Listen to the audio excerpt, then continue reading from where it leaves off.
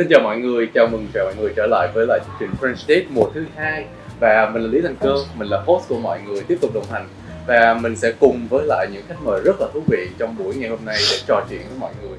Có những món ăn ngon và có những câu chuyện hay. Và chúng ta sẽ chào mừng một ờ, cô ca sĩ vừa có một bài hit rất là hot trong thời gian vừa qua.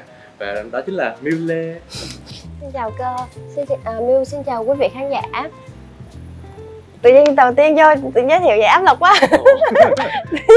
Thì có hit thì người ta phải khen mà có hit chứ. Ngại. Ờ, ok. À, Hy vọng hôm nay chúng ta có một buổi trò chuyện vui vẻ và được ăn ngon. Nhưng mà có một tin buồn là Miu Lê đang bị ờ, kẻo một chút xíu nha. Miu giống như là có có cái gì đó nó nó bị bị bị khắc với những cái talk show á.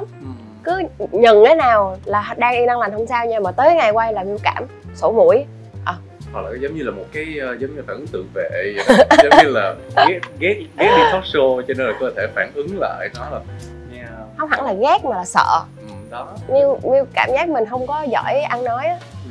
nên là Miu rất là sợ bị vạ miệng nhưng mà bữa hôm nay thì mình sẽ phỏng vấn những cái ờ, rất là ngọt ngào và ngon miệng. Nha. Thì ờ, không biết là thời gian gần cuối năm nay thì ờ, cái công việc cũng như là sống của Miu Lê có cái sự tất tả nhất định không? tất tả? Một từ vựng mới hả? Tất tả. vất vả chứ. tất tả. À, có từ đó hả? có hả? có tất tả do từ vựng của Miu kém từ vựng Miu kém. Tất tả phải không? Ờ, tất tả có sự Tả. tất tả. tả dấu hỏi ha. Để Miu lưu lại tất tả thì có. Ừm, cuối năm thì Miu nghĩ ai cũng bận mà không chỉ riêng những người làm hoạt động giải trí đâu. Miu không biết là cái số này của mình phát vào ngày nào nhưng mà hôm nay là quay xong cái talk này với câu xong là Miu nghỉ Tết. Năm nay nghỉ Tết sớm. Miu cho bản thân mình 25 ngày nghỉ Tết. Ok. 25 ngày nhiều nha. Hơn 3 tuần. Yes. vậy thì uh, dịp gần Tết đến thì không biết là Miu có vấn đề về cân nặng hay là những cái câu chuyện lo toan không? Cho tự nhiên nói cái nước mũi chảy rồi cân nặng là câu chuyện cả cuộc đời này Miu phải mang theo. Ừ, nghĩa là Miu rất là dễ, dễ tăng cân. Thật ra giảm cân cũng được dễ nhưng mà cái tăng cân nó dễ hơn. Ừ, sơ hở cái là tăng cân. Ừ. và đặc biệt là tết. Tết là một cái cái dịp mà Miu không kiểm soát được cân nặng của mình luôn. Đã có cái mùa tết cách đây 2 năm nha là Miu sang Mỹ thăm chị gái ở bên đó một tháng. ừ tăng từ ờ, lúc đó là tăng từ 58 kg rưỡi lên khi mà về Việt Nam là 73 kg. Mình không nhớ 2 năm hay 3 năm mà vài năm trước. À khi đi ở Việt Nam là 58 kg rưỡi nha. Qua bên kia về là 73 kg. Vì lý do sao? Vì lý do là qua bên đó quá nhiều những cái thứ đồ ăn mà mình muốn. Miu rất là thích ngọt, thích béo, những cái đồ béo béo là rất là thích nha. Cuộc đời Miu là một chuỗi sự kiện dài food tour. Không cần 25 ngày tới, ngày nào đối với Miu cũng là food tour hết. Vậy đó. Miu sinh ra để ăn. Như Mille thấy là chúng ta đang ở tại nhà hàng Anto Đây là một cái nhà hàng với không gian sân vườn rất là thoáng đãng Với phong cách địa trung hải Và có những cái món nướng được chuẩn bị ngay tại cái lò nướng Khi mà chúng ta vừa bước vô luôn Rất là ấn tượng luôn Và khu vực này nó nằm ở tại Thảo Điền quận 2 Và mới vừa ra mắt hồi năm ngoái thôi Chúng ta cùng ờ, thưởng thức những cái món ngày hôm nay nha có hai món ăn trước Ăn nha. Đó là đầu tiên là pizza fritta đó là một cái bột bánh pizza chiên phồng ăn cùng rau củ lên men và cái thứ hai là trời ơi, cái tên này khó đọc quá Nuja fritta là bánh xúc xích cay Miu được ờ, thoải mái ăn không? được Yeah yeah yeah. chương trình này là áp dụng là phải ờ, ăn thật là nhiều Thường người ta sẽ hay gấp đồ cho nhau á mà Miu cũng hơi ngại cái đó vì mình cũng không biết là người đối diện của mình họ thích ăn miếng nào. Mình ăn ăn xong rồi đồ ăn nó nhín răng, cái khán giả thấy đồ ăn nhín răng nào mình kỳ không? mình ờ, xỉa răng Mình có thời gian chỉ răng một- không? Ồ,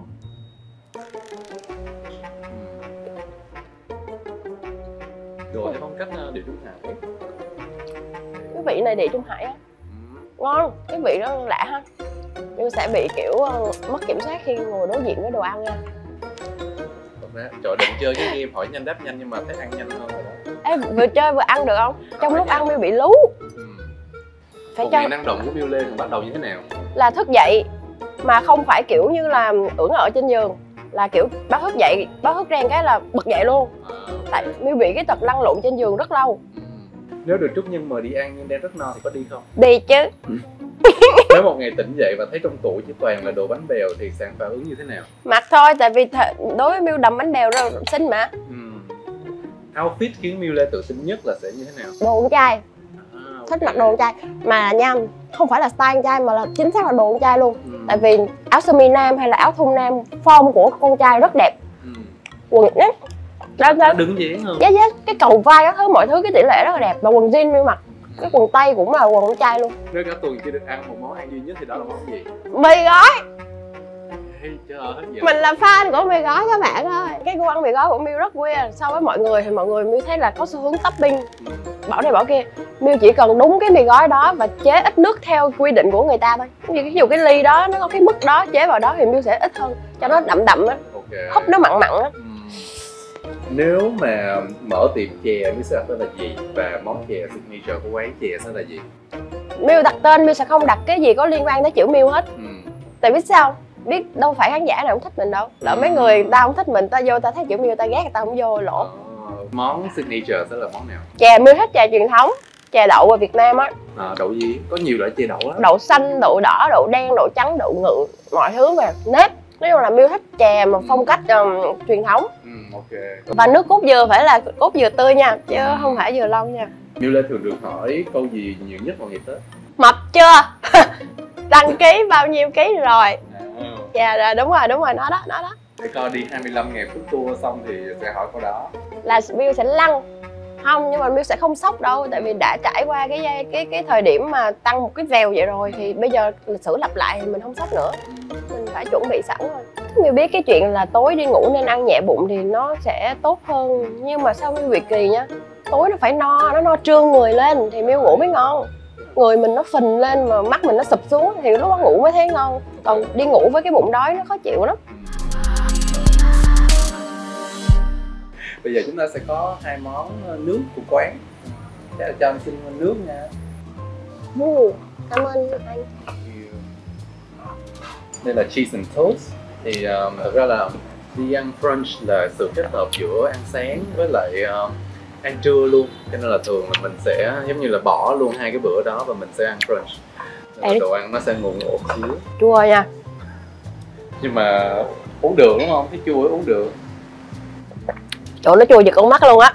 Ê mình đang ngồi ở một cái chỗ mọi thứ nó trình bày hơi sang nhưng mà mình sẽ ăn với cái cốt cách là một con người bình thường ở nhà được không? Được. Ê nhưng mà có một cái đùi à mình nhừ giá cơ á mình ăn cái khác cũng được. Ê có cái phô câu không không không ghét ăn đùi lắm không có ăn đùi hả? Ừ. Chứ không phải nhường đúng không? Không phải để Miu lấy nha. Đấy. rồi rồi rồi trời ơi, mình ngồi ăn vậy thì có tàn nhẫn với ekip quá không? Sông khói á không? Sông khói không? Này quay á. Sông khói á. Câu hỏi về hai mặt trái thì nó ngầm đi. Thì uh, Lê có nghĩ đến cái mặt trái không? à hồi nãy mình có nói cái vụ mà đôi lúc đôi lúc thôi. Ừ. mình muốn có thời gian à, muốn có cái không gian riêng của mình hoặc là một cái sự tự do cơ bản. Nhưng mà nó cũng không phải là mặt trái đâu ngày nào nó cũng có cái cái cái cái this và cái that của nó mà mình có quá nhiều thứ cho cái nghề này rồi thì một chút xíu đó cũng không phải là vấn đề nhưng mà có một cái là cái thời gian mình dành cho bản thân mình nó không cố định Ừ. Ờ.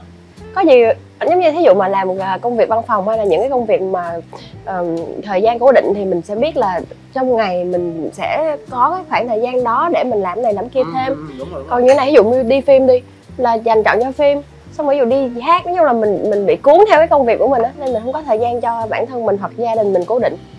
Hên xui lắm. Ừ, thôi cũng Đúng rồi. được có khi là mọi người mình ờ, những bạn bè của mình á, làm những cái giờ cố định ừ, xong rồi đến lúc mà mình rảnh á, thì người ta không rảnh. Chính xác. Không thường xuyên giống vậy lắm. Đúng rồi đúng rồi. Thì đôi khi uh, như có cảm thấy là bị cô đơn không? Cô đơn chứ luôn luôn cảm thấy cô đơn. Thiệt giống như có những lúc mình đứng trên sân khấu mình diễn á khán giả dưới đông mình cảm thấy hạnh phúc ngay lúc đó nha. Nó vừa mới bước xuống khỏi sân khấu rồi mất đi cái năng lượng của mọi người á. Cảm thấy cô đơn kinh khủng luôn. Nó hụt hẫng á. Ờ nó hụt hẫng kinh khủng là mình mới mới tích tắc đó thôi. Hay cô đơn lắm kiểu như hay bị tuổi thân. Nhìn vậy thôi chứ Miu cực kỳ hay tuổi thân luôn. Hồi nãy thì ờ, tôi nghe nói là Miu ờ, không có được đào tạo chuyên nghiệp. À. thì thì khi mà không có được đào tạo về mặt diễn xuất cũng như là hát ờ, chuyên nghiệp như mọi người á thì Miu cảm thấy là mình có những cái lợi nào không? cái hại nhiều hơn cái lợi nha. vậy là cái hại là cái gì? Không học hành bằng người ta là thấy hại rồi. Nhưng mà có Cô ví dụ như là tôi nghĩ là nếu như mình không có ờ, đào tạo bài bản á đôi khi á nó có một cái sự gọi là bản năng. Yes Miu cũng đang tính nói cái đó. Chắc chắn cái cái cái cái lợi duy nhất của nó là bản năng thôi ừ. mà bản năng là thứ mà nó không có công thức. Mỗi người sẽ có mỗi cái bản năng riêng. Nhưng mà nói bản năng bản năng chứ cũng phải nhìn đi nhìn lại. Cứ cứ dựa cái gì nó cũng dựa vào bản năng cũng lôi bản năng ra nói chuyện thì nó cũng không hay đấy Ừ. Nên mình phải tương đối nó thôi. Mình phải dùng nó như là một cái gì đó của riêng mình mà mình biết được là điểm mạnh của mình là cái gì mình khai thác nó. Chứ mà luôn luôn Miu luôn mang tâm thế là học hỏi nha. Ừ. khi Miu làm việc với ai hay là Miu tiếp xúc với ai á Miu quan sát kinh lắm. Tại Miu muốn học người ta. Ừ.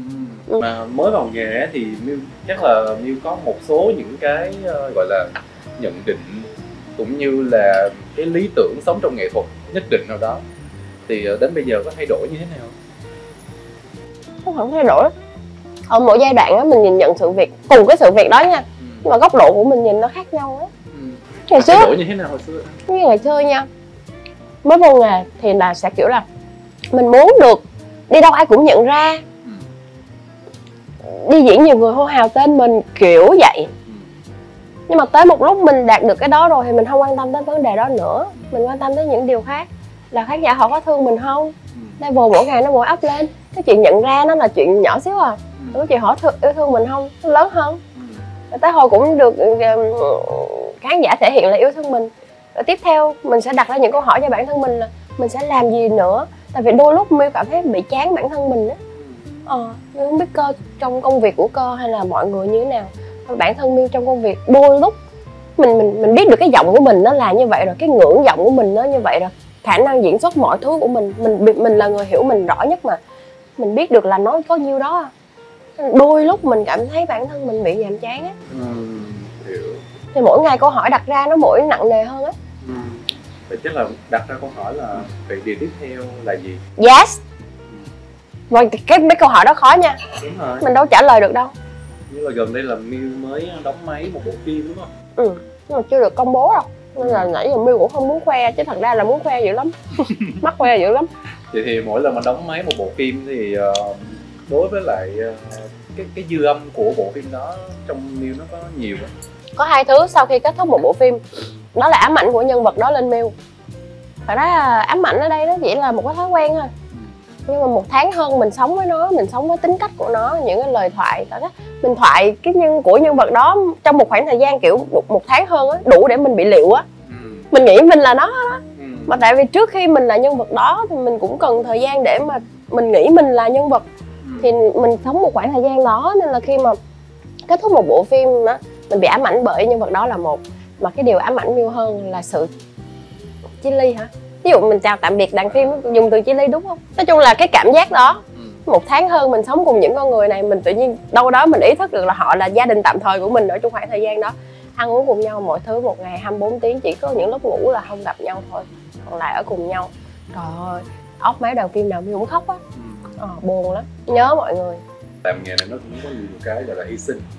Kiểu như là mình bị mình bị ờ, đánh mất chính mình một thời gian như thấy đó là diễm phúc nha Ừ. tại vì đâu phải cái nghề nào cũng có cơ hội cho mình được cái trải nghiệm sống một cuộc sống của người khác đâu ừ.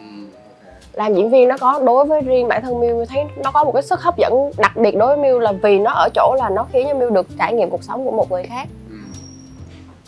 xí này là cái gì vậy Cái món này khoai tây hả đó chính là uh, shrimp and crab rosti tức là bánh khoai tây tây chiên với lại uh, ăn kèm Cua.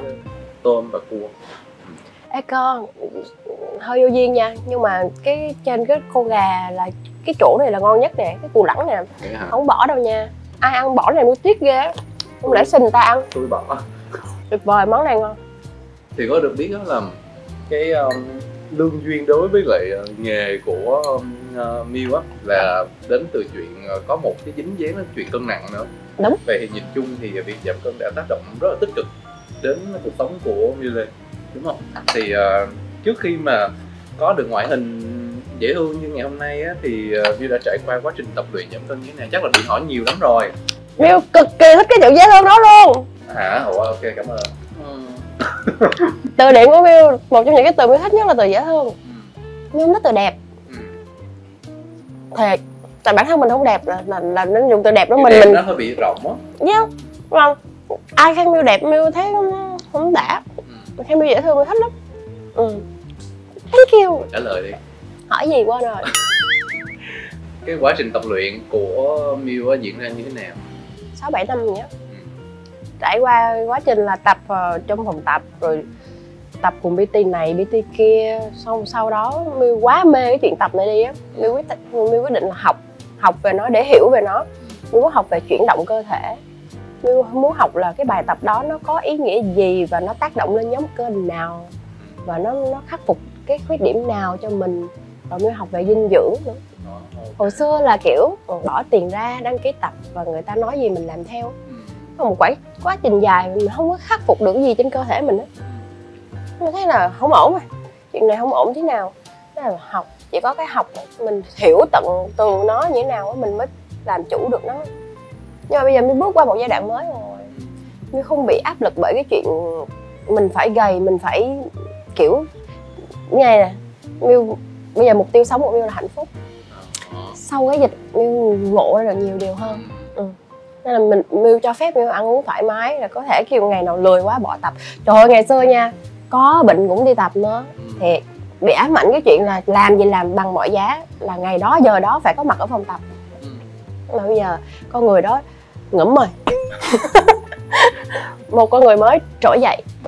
Ừ. enjoy với cuộc sống hơn. rất là thích cái chuyện là cho phép mình hạnh phúc thôi Ừ. nó rất là nice. Nhưng mà mới thấy vậy nè khái niệm như thế nào là hạnh phúc là do mỗi người tự tự định nghĩa thôi. Không hẳn cứ phải giàu mà, hoặc là đẹp thiệt đẹp hoặc là như thế nào đó là hạnh phúc. Đơn giản mà hạnh phúc đối với đơn giản cực. Là do mình tự định nghĩa thôi. Tất cả là sau một quá trình nha Miu nghĩ là mình phải gầy mình phải có thể săn chắc mình mới đẹp thì mình mới thành công. Nhưng mà sau tất cả thì Miu Miu Miu thấy là cái cái cái suy nghĩ đó nó làm cho Miu bị mệt á. Ừ. ờ tại vì cơ bản mình đâu phải người là đứa đẹp đâu. Mình có cố gắng đi cách cách mấy thì cái sự đẹp của mình nó cũng chỉ tới ngấp nghé bốn năm điểm cái đoạn ngấp ngáp ở giữa thôi. Mình không thể nào lóe lên đẹp một cách kiểu rực rỡ được á. Ừ. nên là thôi tương đối thôi. Chỉ dễ thương thôi. Xíu xíu chỉ thương xíu xíu thôi. Nói về câu chuyện mà kiểu bị người khác ảnh hưởng vô Ừ. có những cái bình luận tiêu cực ở trên mạng thường xuyên sẽ gặp ừ. thì uh, như là ờ, kiểu như là đối mặt với những cái bình luận đó như thế nào Nó ngậm cái xương không ơi trước miêu chọn cách đối diện là không đối diện ừ. không đọc ok. do mình yếu đuối mà mình không đủ mạnh mẽ thì mình không nên tiếp tiếp xúc với những cái điều đó sau này kiểu mindset của Miu đỡ hơn thoáng hơn tí. Tại hồi nãy cái đầu đầu giờ đầu giờ Miu có nói cái cơ là đâu phải ai cũng thương mình đâu. Đúng. Đã có giai đoạn mình mơ tưởng mình mộng mị là cứ là khán giả thì họ sẽ yêu thương mình. Ừ. mình Miu đã từng có giai đoạn kiểu ảo tưởng vậy á. Miu nghĩ là cứ những khán giả nào mà nhắn tin cho mình hoặc là quan tâm tới mình là họ sẽ yêu thương mình. Không đâu. Có những người ta ghét mình mà người ta vẫn quan tâm mình mà. Ờ, Đấy, đó không phải những người đáng sợ á. ừ. Nhưng mà Miu rất sợ những người ghét mình mà họ văn minh nha. Ừ. những người đó mới là những người đáng sợ. Những người đó mới là những người thốt ra những cái lời mà nó cắm mãi trong đầu mình. Còn những cái lời chửi á kiểu con này con này rồi thằng này thằng kia hoặc là chửi thề chửi bậy những cái đó đọc vô thì thoáng buồn.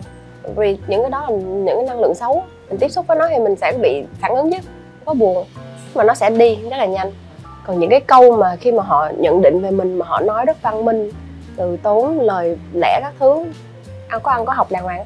Những cái đó nó cắm rất lâu vào đầu mình. Lớn hơn tí tại hồi đó ngốc nghếch mà. Ngốc nghếch nghĩ là cái gì cũng màu hồng. Tại nói chính ra cuộc đời của Miu nếu mà để phân tích lại khá màu hồng. Ừ. nhưng mà mình ngốc nghếch mình sống trong một cái cái sự bao bọc đó và mình nghĩ mọi thứ xung quanh nó đẹp lắm nó hồng giống như cái áo của cơ mặc vậy ờ à, sau rồi mình va chạm nhiều hơn thế giới của mình nó rộng ra hơn á. Mình biết nó không vậy nữa nên mình phải kiểu tự thành trang cho mình những cái tinh thần. cái khiên khiên á ừ. những cái khiên về tinh thần. Ờ, dạng vậy dạng vậy. Nhưng mà những đứa tự lập nghĩ có vẻ mạnh mẽ nha nhưng không đâu. Bên trong kiểu cực kỳ nhạy cảm luôn thiệt. Chỉ cần thấy một hình ảnh kiểu ví dụ mình đang ờ, đi ăn hay là đi đâu ngồi bất chợt thấy một cái hình ảnh một cái gia đình đó rất là hạnh phúc. Hoặc là một cái gì đó mà mình bị thiếu á. Ừ. tự nhiên nước mắt rất à nh- nh- nhìn những cái người mà kiểu tự lập á nhìn có vẻ nghĩ họ mạnh mẽ mà bên trong của họ có vấn đề Thật ra là đối với cơ là nó giống như là cái chuyện mà mình đối mặt với cảm xúc của mình á và cho phép mình khóc á.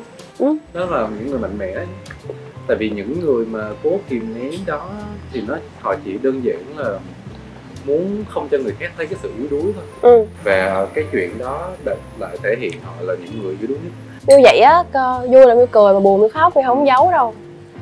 Thiệt. Tại vì tôi thấy có một số bài báo là như cảm thấy là muốn có được tình cảm có tham vọng muốn có được tình cảm của khán giả. Ừ. Thì ờ, tham vọng đó nó nó có được ờ, thực hiện bằng những cái ờ, hành động nào khác không? Đó là cái miêu luôn phải kiểu ý thức mình hàng ngày mỗi ngày á đó là đạo đức sống của mình á. Biết là con người không ai hoàn hảo á.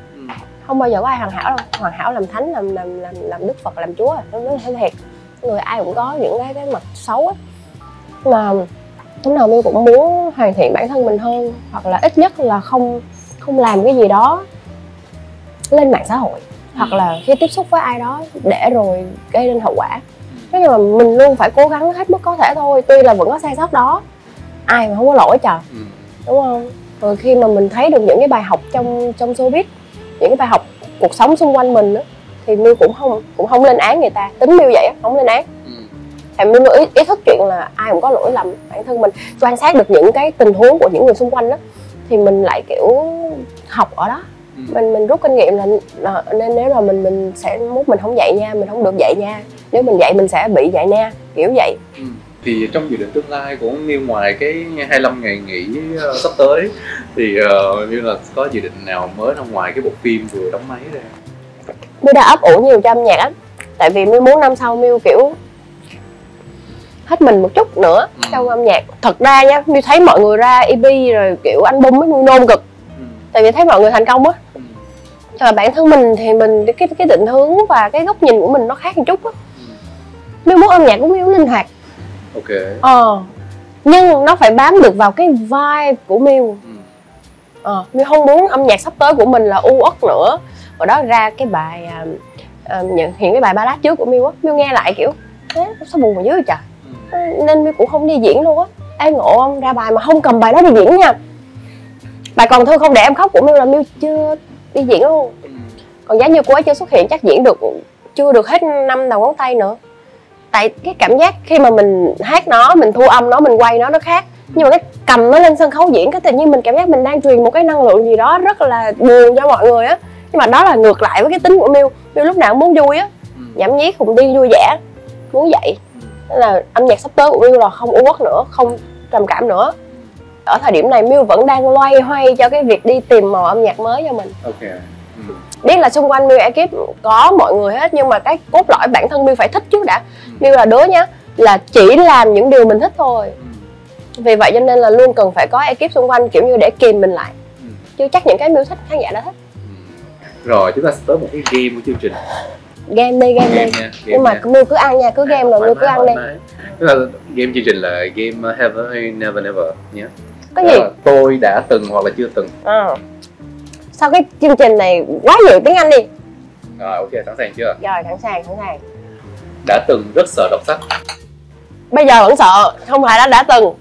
Ok. Sao vậy? Sao vậy? Đọc chữ nó buồn ngủ. À, tuy là Miu rất thích đọc chữ nha. Vậy thích coi phim hơn đúng không? Đúng coi phim cũng ngủ luôn. Tại cứ coi phim mà phim Việt Nam thì được mà phim nước ngoài mà cứ phải đọc sách á là là buồn ngủ đó. Ok. Đã từng thích một người trong showbiz. Thích đó thích theo kiểu uh... thích trai gái á. Ừ. Ok. Không biết là ai. Ừ. đã từng bị Carrick unfriend trên Facebook. Ôi trời ơi mấy lần cái sao không hỏi thêm cái câu là mấy lần ạ? Mấy lần? Quên rồi block nữa. Tại vì mấy cũng block mình block ngược lại nói chung có qua có lại đi. Ok. Đã từng cười không ngừng nghỉ với trò đùa của Trúc Nhân. Ừ. Nhận duyên lắm á đã từng ước có năng lực siêu nhiên. Rồi Đó cánh cửa thời gian. Ủa, có năng lực siêu nhiên gì đó bảo bối thần kỳ rồi. À vậy hả? Đó là năng lực siêu nhiên tàn hình. rồi một tàn hình làm gì? Gặp mấy đứa mình tự nhiên trong những lúc mà gặp mấy người mình không thích ở đó mình muốn tàn hình biến mất rồi ở chỗ đó. Rồi, ok. Đã từng hối hận vì một điều gì đó trong quá khứ? Đôi lúc nếu mà câu này hỏi Miu ở những năm về trước thì Miu sẽ nói rất là nhiều cái Miu muốn thay đổi Miu muốn khắc phục này cái kia. Ừm, nhưng mà đó đó là câu trả lời của Miu rồi. Ok đã từng mua ờ, thức tới sáng và không ngủ là một việc vô nghĩa rồi đó. Không. Khóc đâu có vô nghĩa đâu không nhưng ngay lúc đó mình nghĩ, nghĩ nó là cảm xúc nó là một cái gì đó cảm xúc. Tiếp theo mình sẽ có đồ trắng miệng nhưng mà tất nhiên là khi mình nói về đồ trắng miệng thì chúng ta sẽ nói về những điều ngọt ngào ví dụ như là tình yêu. Ok Như coi cái số của chị Tiên á, tóc Tiên á, chỉ thanh lịch rồi bà ăn bà nhã nhặn thôi Mình không có cái vibe đó rất nhiều nha Vậy hả? bán rất nhiều luôn á Sao cái cách của bà thanh lịch lắm kìa Ủa cái này là sao vậy có? Bacon á? Ờ, bacon khô á. với lại olive và ờ, rất là nhiều ờ, citrus Ê, vậy là cái quán này người ta serve theo tính cách đó hả? Người ta nghĩ miêu phùng thật hả? Ờ, Kiểu, như mà đúng thiệt mà đúng không? Sao mà nó nhiều những cái thứ ở trên quá vậy nó thiếu được. nhiều topping. Không biết nha. Bạn ăn thử đi. Vậy thì ờ, trong tình yêu á nếu có một cái hình mẫu bạn trai nào lý tưởng không? Đắng quá vậy. Ừ. ừ. Miu vẫn thường hay trả lời là Miu không có gu cho chuyện ờ, người yêu. Ừ. nhưng mà thật ra là ngược lại là đối với Miu có những cái gạch đầu dòng mà bắt buộc là phải có chứ nó không được xét là gu nữa. Ok. Ví dụ như đạo đức tử tế lịch sự nhã nhặn cư xử hiền hòa với mọi người thơm. Hiểu không? Hiểu không? Ok. Sạch. Ừ. kiểu vậy không vô duyên. Thì đối với Miu những cái đó là những cái mà Miu tự áp đặt nó là mặc định rồi Ừ. chứ nó không phải là về vấn đề gu nữa. nhớ gạch đầu dòng 70 cái không? Chắc mấy trang á Miu rất thích những người thơm sạch sẽ và kiểu điệu. Ồ Miu rất thích con trai điệu nha. À, không đó là những người biết chăm sóc bản thân mình. Yes. Là móng tay lúc nào cũng cắt sát ừ. xin lỗi Miu hơi kiểu ngại những cái có cái móng tay dài. Có một mối tình nào mà Miu cảm thấy hối tiếc không cũng có nhưng mà sau tất cả thì mình ngẫm lại người là người ta ai xuất hiện trong cuộc đời của mình cũng mang đến cho mình bài học ấy. Nhưng mà- không không. có một cái người nào kiểu giống như là mình không bao giờ muốn có trang sách đó trong cuộc đời mình không? Có đã từng có. Đó. nhưng ừ. nhưng đó là đức đồ đạo đức tiếp. Ok. Nếu là không lập luận đúng không có người đó không có cái chuỗi sự kiện nó diễn ra thì mình sẽ không có những cái chuỗi sự kiện tiếp theo. Đúng, đúng. Ừ. nên là phải đạo đức thôi. Ừ. thấy cái gì nó cũng có lý do của nó. Ok thì mà. mối tình ờ, lâu nhất là bao lâu? À, 6 năm. Bạn ơi mình yêu chân thành mà. Ừ. ok. vậy thì ờ, có một cái điều mà kiểu như là một cái điểm mà từ đối phương á mà giống như là sẽ sẽ giống như là nhấn nút công tắc mà khiến cho Yule bật ra luôn à, bất hiếu. bất hiếu. À, có, có muốn yêu một người bất hiếu với cha mẹ không? Ừ. có thể người đó xấu điểm này điểm kia có thể khắc phục được hoặc là ở dơ một tí họ có thể khắc phục được. Nhưng mà cái bất hiếu nó là cái ăn vào máu rồi. Ừ. người, người đó đã bất hiếu với cha mẹ một lần đó thì trong mindset của Miu người đó là người bất hiếu. Ờ, không cần biết là những lần sau họ có hiếu chưa. Ừ. bị vậy á hơi áp đặt hơi xấu tính. Đó thấy chưa nhiều lắm nó không chỉ là một đâu nó chắc phải mười mấy hai mấy ba mấy năm mấy, mấy trang bảy ừ, tràng nhiều lắm. Bây giờ ta sẽ đến với lại một cái truyền thông của chương trình không biết là như lê có biết không? Đó chính là mình sẽ có một cái quyển French Date một quyển giống memory book vậy đó. Ừ. ừ, một cái uh, gọi là đi về quá khứ à. của khách mời. Và Ừ, chúng ta ừ. sẽ tìm hiểu khách mời thông qua những hình ảnh. Rồi. Đây là anh New Lan hồi nhỏ. Cho để coi thôi ai là người chụp cho cho tấm này vậy ta? Chị gái Miu. Ờ, lúc này đang làm cái gì vậy? Con Lúc này- đây là cây xoài nhà bà nội Miu. Cây xoài này đu lên hái xoài. Ok. Ờ. Và có hái được không hay là té? Th- à, Miu là cốt khỉ mà. Miu tuổi mùi mà cốt khỉ. Tay chân không thoát. Ồ, ok. dữ dữ dội luôn. Ê mà hồi nhỏ gầy nha. Ừ. gầy gầy đẹp gầy lắm.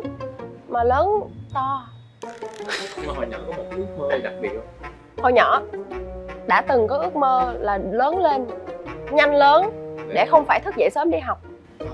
Nhưng bây giờ phải thức dậy sớm chạy show thì bây giờ lại rất là muốn được quay về thời gian đi học Miu rất là muốn rất nhiều lần luôn á. Thà luôn một lần ước được quay trở lại trường học được học. Còn hồi đó kiểu bị sợ cảm giác đi học là vì phải dậy sớm thôi muốn ngủ nướng thôi. Tiếp theo hình ảnh tiếp theo nè đây là à thiên nào áo trắng. Thiên thần áo trắng là một trong những bộ phim ờ, đầu tiên của Milan cái Miu Lê á cái chữ Miu đó cũng xuất phát từ cái phim này đó. Ừ. hồi đó Miu quay phim này 6 tháng. Thế sau trong phim tên, tên là Julie Miu ừ. thì sau phim mọi người cũng gọi miu miu miu á xong rồi mẹ miu thấy hay quá. Như lê luôn. Ờ chứ nếu như mà không lấy tên đó miu lấy tên thật lê ánh nhật. Ừ. mà nghe ánh nhật nghe nó cứng không? Nghe nó như là một quan tòa ha ánh nhật nghe nó kiểu như một ánh sáng công lý rồi đó ha nghe Ánh mặt trời. ha cái này là Là Lúc mới vô nghề nè. rất là rất là cool màu cá tính rock and roll em mấy cái phụ kiện này là mua chợ sách 15 á. à. lúc đó sao Stylist, chọn cái stylist. này không biết stylist thôi không không giờ nhìn lại tôi lúc bộ lúc miu coi lại hình như sợ điểm này miu nói sợ ma lúc lúc này có phải là thời gian nổi loạn không có nổi loạn đâu cái tính tình cũng vậy thôi mà đó là Nhưng hình ảnh hình ảnh đúng rồi. Ai mà sợ ma nha. Tự nhiên cứ gắn kim băng trên người chi lành lặn không? Nè cái áo này là cái áo lành lặn. Đi mua về xong cắt ra. Cắt ra xong rồi gắn kim băng vô. Có thể là một con người mâu thuẫn tâm lý không? Rất là mâu thuẫn. Ờ chi vậy? Tiếp theo chúng ta sẽ có một cái uh, à, lúc này là lúc um, đang uh, từ uh, cung ngồi chuyện anh nữ tính. Giấc này là giấc mơ thần tiên. Ừ. này là cái gì đây? Quên rồi. Quên á lúc này thì uh, cái lúc mà chuyển hình ảnh như vậy phản ứng khán giả như thế nào? Nó có thật ra Miu không biết được cụ thể khán giả như nào đâu. Cái Miu biết nó chưa có social này nọ yes yes. Cái Miu biết đầu tiên là Miu thích. Tại vì gần như nha coi nha Miu đã thử rất nhiều kiểu tóc rồi. Ờ, bóp hay là pixie hay là ờ, gì cũng thử. Thậm chí Miu đã kiểu undercut cạo luôn cả cái gáy để có cái hình xăm thánh giá sau gáy này nè. Còn tóc dài thì tóc này tới đây tới đây tới đây. Thử hết rồi chưa cạo đầu chọc thôi đó. Chưa đậu đinh thôi. À, ê cục mất cuộc đời Miu? Dạ, em là bà nội của anh. Chắc là cái bộ phim này là cũng là một trong những bộ phim đầu tiên mà cô coi Mà cũng biết được. Ờ đây cục mất cuộc đời. Đây là để mà chia sẻ về cái này nha. Nhưng Miu phải mất chắc 5 tiếng 5 tiếng những nỗi lòng của Miu về cái kỷ niệm. tập dài nhất. Vậy kỷ niệm đáng nhớ nhất của là khi mà quay bộ phim này kỷ niệm đáng nhớ nhất của Miu khi quay bộ nhiều kỷ niệm lắm nhưng mà kỷ niệm của Miu là sau phim. Miu bị ám ảnh mà nó rất lâu. Ừ. và trong phim này Miu đi tướng gù gù lưng tay chân cầm đũa các thứ nó cũng như này. Và Miu bị thói quen luôn. Ừ. bị gù lưng một khoảng thời gian mấy tháng sau đó luôn phải tập. Cái nãy Miu có chia sẻ là ám ảnh của mỗi nhân vật đó. Trong đó có một cái cảnh mà không biết cơ có nhớ không là cái cảnh mà ôm hũ cốt của của người chồng đi trên thù xuồng á. Trời ơi, cái cảnh đó là Miu cảm giác nó là một cái gì đó tâm linh ấy. Nó khó nói được. Mà cái bản thân của mình mình cảm nhận nó rất là rõ. Tự nhiên Miu không hiểu sao luôn. Miu bước xuống cái xuồng đó Miu đứng thì mưa bắt đầu nó mưa rơi nhẹ nhẹ xuống. Tự nhiên mưa trời mà bình thường mà cả ngày không sao á. Cái tự nhiên Miu ôm cái hũ cốt cốt vô á Miu không Miu hứa luôn nha Miu không có hề lấy tâm lý luôn. Thường là diễn cảnh khóc hay gì là mình phải lấy tâm lý khóc các thứ mình phải nuôi nó. Không cái này không nuôi gì hết trơn á. Ôm cái hũ cốt vô tự nhiên rồi sống lưng đâu các thứ. Nó, nó rợn da gà đó vậy nè. Nước mắt nó trào trào trào một cách vô thức luôn á. Ừ. đã nó cũng là một cái trải nghiệm đã. Ừ. nói chung là phim này nhiều nhiều cái trải nghiệm đối với Miu lắm. Cột mốc cuộc đời. Ừ, tự hào. Tuy là nó không phải bộ phim Donnie đóng giày cho Miu. Ừ. Miu là chỉ là option cuối cùng thôi Ờ. gọi, gọi là gọi thô thiển hơn là hút cú chót à, hút hút vỏ à, hút vỏ Nhưng mà mình thành công với nó thì đó là một cái duyên Rồi tổ độ đúng rồi ừ, Miu nghĩ là duyên á Dạ. ừ. cái là không còn option nào nữa hết mới Miu mới tới lượt được lên cast Đây là cái hình ảnh cũng chuyển mình đúng không? Lúc mà cái khoảng thời gian giảm cân của đây đây đây Ừ. à hồi nãy từ lúc đầu Miu nói là đi Mỹ về là bảy mấy ký Đó là đó nè. đến đó chính đó nhưng mà lúc này đã giảm được một tẹo một hai ba ký gì rồi Ừ. còn lúc này là gầy thật rồi Ê, cái khung eo của Miu rất nhỏ nha nhưng mà khi mà Miu mập lên á thì nó rất to vì chả hiểu sao là nó mở mọi thứ mở trên người nó dồn vô bụng nhiều. Ờ, lúc này là gầy luôn á như là một người mẫu luôn á nhưng mà đời sống tinh thần hơi khổ có có một cơ thể lực đúng không? Phải Yes. nó. Tập dữ lắm rồi nhìn ăn dữ lắm nói mà được cái này mất cái kia. Còn bên đây xấu thấy ma luôn mà cứ đầu óc phơi phới đã vui ăn ngon. Được cái này mất kia được cái này mất kia. Chứ không thể nào mà đẹp này mà đầu óc phơi phới được không? Đúng rồi, mình phải giữ nó hoài. Nha đây là sau đây là cái ờ, những bình luận rất là đáng yêu. Ê như này có được gọi là chêm chém với fan không? Ờ, không. Không thì Miu trả lời bình thường ấy. Đúng rồi. Tại vì tính của Miu trả lời fan toàn vậy thôi à? Chị mập lại rồi em. Ông xã ông xã. Ủa? trúc nhàn. Rồi hai chọc nhân là ông xã vậy mà. Thì hai người là người bạn như thế nào? Có có gì vui và có gì không vui không? Ngày xưa nhá là khi mà nhân tham gia cái chương trình mà thi hát của nhân á ừ. thì miêu coi tivi thì miêu thấy nhân và miêu kiểu cảm giác thích thú bởi cái con người có cái năng lượng này vì lúc đó miêu thấy nhân rất là vui á funny vui tính lúc đó chưa tiếp xúc. Thì cái hôm đó đi diễn ở một cái trường cấp 3 thì miêu biết hôm đó có chút nhân mà lúc đó thì miêu tưởng nhân lớn tuổi hơn miêu và lúc đó miêu cũng đã kiểu đi hát và cũng có khán giả rồi. Thì miêu chạy vào miêu kêu anh chút nhân. Miêu làm quen á kiểu đứng từ xa như kiểu fan girl vậy á. Mà tính miêu vậy á miêu không có ngại cái chuyện là mình sẽ mở lời mà làm quen với một cái người mới vào nghề hay gì không quan tâm chuyện đó. Mới chỉ quan tâm cái người mà miêu muốn tiếp xúc là miêu thích hay không thôi. Thì cái tới thời điểm này thì nhân nó cũng rất là bất ngờ về cái điều đó, nó kêu là, ủa miêu lúc đó mày đã có khán giả rồi, mày là một đứa đã trong nghề rồi mà tao chưa là ai hết mà mày tới mày làm quen tao vậy hả? Cái miêu đó bình thường mà có vấn đề gì không ủa có vấn đề gì không? Thì lúc đó miêu chạy vô hậu trường cái anh chút nhân em thích anh lắm cho em làm quen anh nhé. Kiểu vậy. Xong rồi xin số điện thoại. Chơi tới giờ luôn. Ờ, thì, thì nguyên một khoảng thời gian những năm đầu đó là xưng hô anh em anh nhân em nè sau biết tuổi là mày tao. Và rất là thân bọn rất là thân. Tuy rất là hiếm khi uh, public lên trên mạng là bọn thân nhau. Ừ. nhưng mà quan điểm chung của hai đứa là cái gì càng giữ gìn thì nó càng bền. Không thể hiện là thân lắm nhưng mà cần là có mặt. Lê và The Lab. Thì trong cái MV cái lời Âu Lo có một cảnh uh, Lê là tác uh, một thành viên trong nhóm. Cậu nhớ tên thành viên đó là anh long. Miêu rất thân với các anh Đà Lạt và miêu rất quý mấy ảnh luôn. Mà cảnh này là nghe nói là thật luôn đúng không? Thật luôn. Nghĩa là cái cái dự án uh, gác lại âu lo là lần đầu tiên miu được làm việc với các anh Đà Lạt sau một quá trình dài năn nỉ ỉ ôi và bị từ chối rất nhiều lần. Mọi người không biết là cái dự án gác lại ô lo này là không phải là đa lát mời miu lên đâu, mà là quản lý của miu là chơi với anh cào ở trong nhóm. Và miu được, miu phổ biến lại là miu rất thích âm nhạc của các ảnh và rất muốn được một lần hợp tác với mấy ảnh. Thì mấy ảnh từ chối chốt đau lòng. Từ chối từ chối vài lần lận ấy.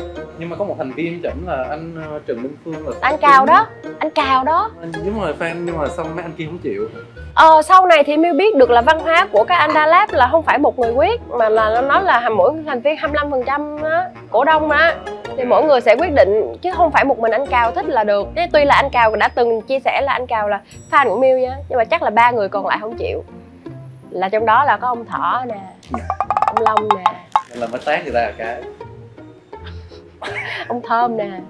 À anh long này là cái trường hợp này á là là là bất à, là giống như là trước đó đã diễn rồi nhưng mà cái đó nó không đã nư. Thì cái tác này là đạo diễn phổ biến với miu là tác bất ngờ đi một phát ăn ngay.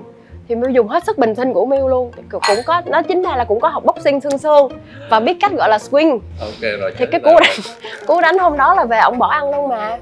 Tại vì miu không muốn miu, miu có tiêu chí là giết nhầm còn hơn bỏ sót. Nên mình mình làm dư ra tí đi thì nó đã hơn là kiểu làm ngáp ngáp chưa tới nơi thì nó bị tốn cái lần đó tại vì mình chỉ được làm một lần mà. Hôm đó miu dùng hết sức bình sinh miu làm cái peng. Đau á tay miu đau mà. Xong rồi miu ôm ảnh xin lỗi quá trời luôn. Là ảnh ờ, trở lại thì anh anh chia tay. Đây cũng hả? Nói quá có cái đó có nói. Tại vì anh ờ, lúc đó là thấy là cái bài này rất là viral luôn. Ừ, thì cảm xúc của Miu khi mà thấy ờ, hiệu ứng của nó là như thế nào hứa luôn nha miu chưa từng nghĩ là nó viral đến như vậy Miu chỉ biết là làm ờ, tốt nhất có thể những gì mình làm và và chắc chắn là Miu yêu nó, Miu yêu nó Miu mới làm. Nhưng mà Miu luôn mang một cái tâm lý là chưa chắc mình yêu khán giả đã yêu á. Tại Từ đầu Miu có nói rồi. Nên là cái sự kỳ vọng là chắc chắn là có, nhưng mà nó ở mức tương đối thôi. Thì tới bây giờ và sau cái thành công của nó và những gì mà Miu gặt đạt được và Miu đo được trong lòng của mọi người á thì nó ngoài cái Miu mong đợi. Ừ. Thì nên là là-. Nên là Miu rất là biết ơn luôn á, biết biết ơn. lúc đó thì cơ thấy là cái thuyền của Carrick và Miu Lê là được đẩy rất là nhiệt tình luôn á. Thì ờ, lúc đó là hai người ờ, cảm thấy như thế nào? Miu Lê và Caric bị mọi người ship đẩy thuyền nó từ lâu nay rồi thì bọn mình cũng thấy bình thường cũng không có gì? Mọi người vẫn đẩy mà và trong cuộc sống của đời thường thì uh, Miu Lê và anh Carrick có có điểm nào giống nhau? Không? rồi Miu với anh Dick là giống như kiểu là phiên bản nam phiên bản nữ vậy đó. Ờ, ảnh vẫn thường hay nói Miu là Miu Lê là phiên bản nữ của Caric mà. Nghĩa là tính tình giống y chang nhau luôn. Cũng đa sầu đa cảm rồi cũng ừm, ít bạn bè rồi cũng thích ở nhà. Nói chung là sở thích mọi thứ. Giống nhau cực kỳ luôn. Nên là đôi lúc vẫn hay nói là chắc kiếp trước mình là anh em á. Ờ dễ thương quá dạ nên là kiếp này mới thân vậy. Và cảm ơn ờ, những câu chuyện của Miu Lê. Ủa cảm ơn rồi hả? Hết rồi hả? Thế tự nhiên hôm nay Miu ra tâm lý của Miu tới đây Miu rất là rất là vui. Ban đầu thì Miu lo nha tại Miu không không không biết được là có những cái câu hỏi khó nào không. Và tính mình cũng hơi vội vàng á mình trả lời cái gì nó cũng bị nhanh. Và sau xong xuôi tới giờ thì Miu thấy vui. Vui vì ăn ngon rồi nói chuyện với cơ lần đầu tiên nhưng mà Miu cảm giác rất là cảm giác thích cái năng lượng này thank you cảm Ừ. ơn vậy là nghe mừng à. Ừ. và nhân tiện uh, dịp gần Tết thì ờ, cơ cũng như là ekip và khách mời chúng ta Miu Lê chúc cho khán giả đang xem chương trình French Date có một cái mùa Tết thật là ấm cúng cùng với lại gia đình và có rất là nhiều sức khỏe cũng như là những cái ờ, sự hạnh phúc đông đầy ờ, không có cô đơn trong mùa Tết này và chắc chắn uh, Miu có muốn gửi lời chúc Tết nào cho khán giả không? Trời nói sau cơ tự nhiên Miu bị áp lực á chuyên văn cái cái nói mọi thứ nó su- suôn sẻ quá. Cứ sao rộng đi không sao? Miu là Miu thì ờ, những cái gì mà nãy giờ cơ chúc thì nó cũng nằm trong những cái điều Miu muốn nói với mọi người nhưng mà có một cái đặc biệt là Miu luôn muốn mọi người có sức khỏe thật là tốt. Đó là điều Miu luôn luôn muốn chúc mọi người không chỉ riêng Tết. Ừ. có dịp chúc là Miu luôn chúc sức khỏe chúc mọi người sức khỏe thiệt dồi dào. Ừ. có sức khỏe mình có thể làm được tất cả mọi thứ trên cuộc đời này và có nghĩa là chắc là quote một câu rất là hay của Mille đó là các bạn có thể chọn cho mình sống hạnh phúc. Thì đó là một cái điểm rất là hay để mà mọi người chọn cho mình trong cái dịp năm mới sắp tới và cả nguyên một năm luôn. Để cứ chọn cho mình hạnh phúc là được rồi. Cảm ơn mọi người theo dõi ờ, chương trình ngày hôm nay và hy vọng là chúng ta sẽ gặp lại nhau trong ờ, những tập tiếp theo của French Date và cảm ơn mọi người đã luôn ủng hộ French Date và cảm ơn Mille ngày hôm nay đã tới tham gia. Và chúc mọi người có nhiều niềm vui. Happy New Year! Chúc mừng năm mới.